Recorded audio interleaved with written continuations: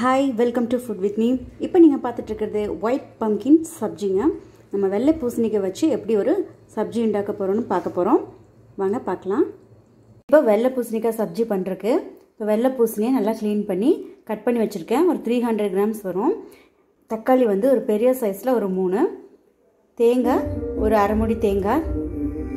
ரெண்டு பெரிய வெங்காயம் எடுத்திருக்கேன். கரம் மசாலா ஒரு ஒரு டேபிள் ஸ்பூன் ஜீரகம் ஒரு டேபிள் ஸ்பூன் பச்சை மிளகா ஒரு ஏழு எடுத்திருக்கேன். வெள்ளைப்பூண்டு ஒரு ஏழு பல் எடுத்திருக்கேன். இப்போ ஒரு பேன் வச்சுருக்கோம். அதில் ஒரு ரெண்டு குளிக்க வேண்டிய அளவுக்கு ஆயில் விட்டுக்கலாம். நம்ம அரிஞ்சு வச்ச பெரிய வெங்காயத்தை சேர்த்துக்கலாம். வெங்காயத்தோட கலர் கொஞ்சம் சேஞ்ச் ஆகிற வரைக்கும் வதக்கணும். இப்போ நம்ம ஒரு ஜாரில் ஒரு கப்பு தேங்காய் எடுத்திருக்கோம். சின்ன தேங்காயில் ஒரு அரை மூடி போதும். கூடவே வெள்ளைப்பூண்டு ஜீரகம் பச்சை மிளகாய் கரம் மசாலா. இது எல்லாத்தையும் கொஞ்சம் தண்ணி ஊற்றி நம்ம பேஸ்ட்டை அரைச்சி எடுத்துக்கலாம். இப்போ இந்த மாதிரி நம்ம பேஸ்ட் பண்ணி எடுத்து வச்சுக்கலாம். இப்போ வெங்காயத்தோட கலர் நல்லா மாறிடுச்சு. கூடவே நம்ம இந்த மூணு தக்காளியை கட் பண்ணி வச்சதும் ஆட் பண்ணிக்கலாம். இதையும் நல்லா வதக்கிடலாம். இப்போ தக்காளியும் நல்லா வதங்கினதுக்கப்புறமா நம்ம இது கூட கட் பண்ணி வச்ச பம்கின் அதையும் ஆட் பண்ணிக்கலாம். வெள்ளை பூசணிக்காயும் ஆட் பண்ணிக்கலாம்.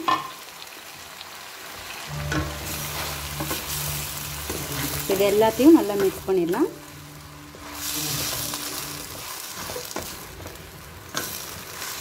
இப்போ பூசணிக்காய் போட்டுட்டு ஒரு ரெண்டு நிமிஷம் நல்லா வதக்கிடலாம்.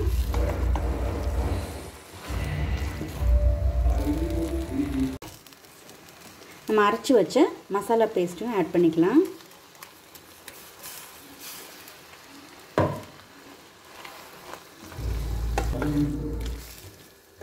நல்லா இந்த பூசணிக்காயில் நல்லா மிக்ஸ் ஆகணும்.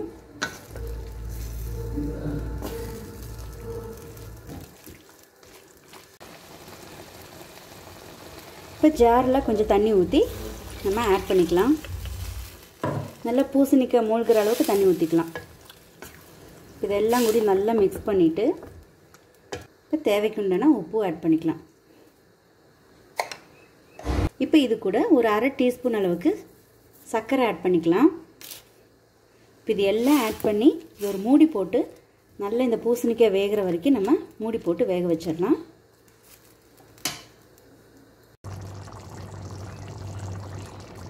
இப்போ பாருங்கள் பூசணிக்காய் நல்லா வெந்துருச்சு. நம்மளோட சப்ஜி ரெடி ஆயிடுச்சு இப்போ நம்ம மசாலாவை வந்து ஆட் பண்ணிவிட்டு பச்சை வாசனம் போகிற வரைக்கும் நல்லா வதக்கிட்டு அதுக்கப்புறம் தான் தண்ணி ஊற்றணும் சொல்கிறதுக்கு நான் மறந்துட்டேன். இப்போ இது நல்லா குக் ஆயிடுச்சு நம்ம கட் பண்ணி வச்சு கொத்தமல்லி ஆட் பண்ணிக்கலாம். கருவேப்பிலையும் ஆட் பண்ணிக்கலாம். அவ்வளோதாங்க நம்மளோட வெள்ளை பூசணி சப்ஜி ரெடி ஆயிடுச்சு இது நல்ல சப்பாத்திக்கும் பரோட்டாவுக்கும் சூப்பராக இருக்கும். நீங்களும் ட்ரை பண்ணி பாருங்கள் இந்த வீடியோ உங்களுக்கு பிடிச்சிருந்துச்சின்னா லைக் பண்ணுங்கள் ஷேர் பண்ணுங்கள் சப்ஸ்கிரைப் பண்ணுங்கள் மறக்காமல் பெல் ஐக்கானை கிளிக் பண்ணுங்கள் தேங்க்யூ